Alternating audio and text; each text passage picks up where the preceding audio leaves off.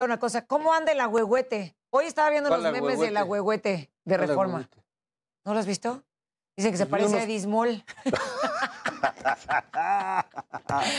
Vi unos palos ahí, todos ñangos. ¿Será Por eso dicen ¿Será que se por eso? parece. Bueno, pues preguntamos qué pasa con el agüehuete y esto fue lo que nos dijeron. La glorieta del lago podría quedarse pronto sin su principal habitante. El árbol que fue plantado apenas hace seis meses en Avenida Paseo de la Reforma ya presenta un deterioro importante.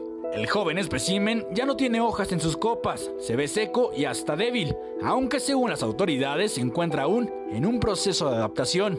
tienen la capacidad de tirar el follaje o desvestirse, tirar su hoja en verano. Es una protección del, del cuando hay un estrés, ya sea un estrés fisiológico o un estrés físico. Este, por algún motivo que resintió el estrés físico, entró en dormancia y nos va a brotar.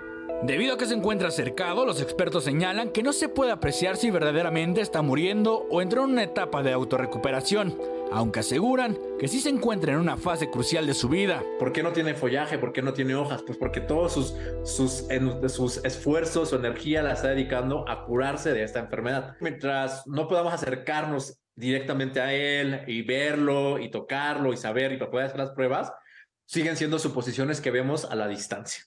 Lo que sí veo es que el árbol la está pasando mal y que está luchando por sobrevivir intensamente, pero le está costando muchísimo trabajo.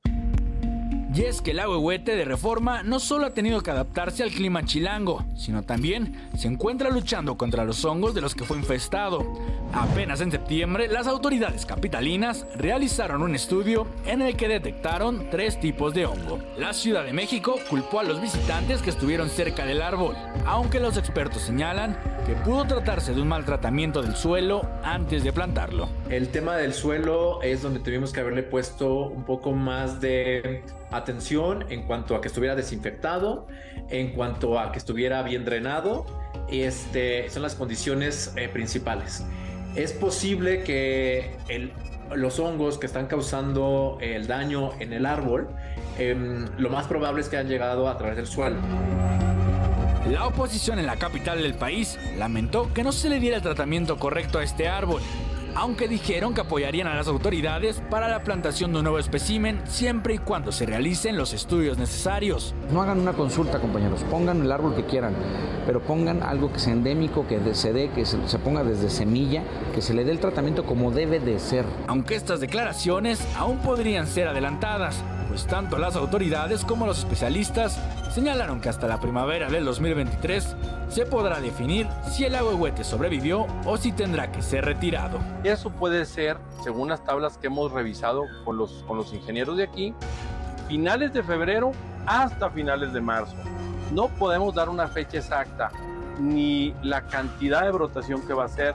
Vamos a evaluar y eso va a estar en monitoreo. es importante entender que desafortunadamente eh, a la hora de plantar un árbol grande tiene su riesgo de éxito. Entonces puede llegar a morir. Entonces también se vale decir, ¿sabes qué? Aquí no lo hicimos lo mejor posible. Pongamos otro árbol, pero ahora sí preparemos el terreno, preparemos las condiciones. Se vale corregir. Alberto Valiente, Heraldo Media Group.